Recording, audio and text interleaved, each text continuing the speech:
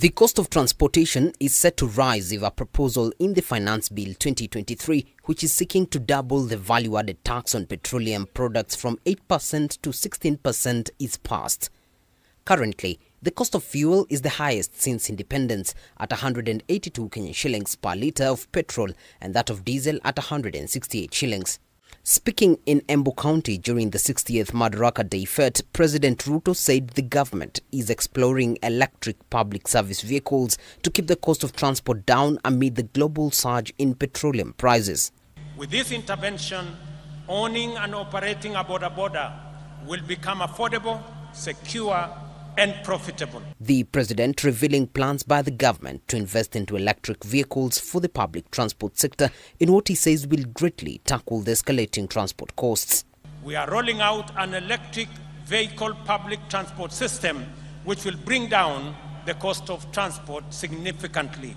The current transport system heavily relies on fossil fuel, Kenya Power earlier this year reported that the country's power generating capacity as at now can only support charging of up to 100,000 electric vehicles.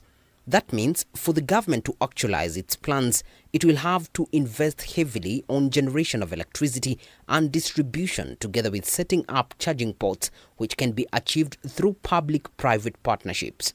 By September this year, we will have a mechanism where you can get your boda boda that does not need petrol, that will be run on electricity, one that is financed by not a predatory system, but one that respects the interests of those who purchase the boda bodas. The president adding that his administration will help fund the transition to electric bikes which will be affordable compared to what is already in the market. David Kagina, K24.